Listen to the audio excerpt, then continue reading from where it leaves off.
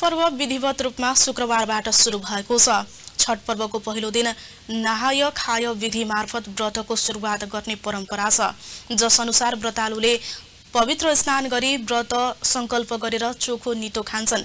व्रतालुले शनिबार निराहार व्रत बसी राति सखरमा पकाइएको अरुवा चामलको खिर कुलदेवता र छठी देवीलाई चढाएर प्रसाद स्वरूप खान्छन्। यो विधिलाई मिथिलामा खर्ना भनिन्छ। व्रतालुले षष्ठी तिथिका दिन निराहार व्रत बसेर बेलुकी पख अस्ताउँदो सूर्यलाई अर्घ्य दिन्छन्। यसको भोलिपल्ट बिहानै उदाउँदो सूर्यलाई अर्घ्य दिएपछि छठ पर्व सम्पन्न हुने परम्परा छ। छठ प्रारम्भसँगै मिथिलाका धार्मिक महत्वका तलाउ र नदी परिसर सिँगारिएका छन्।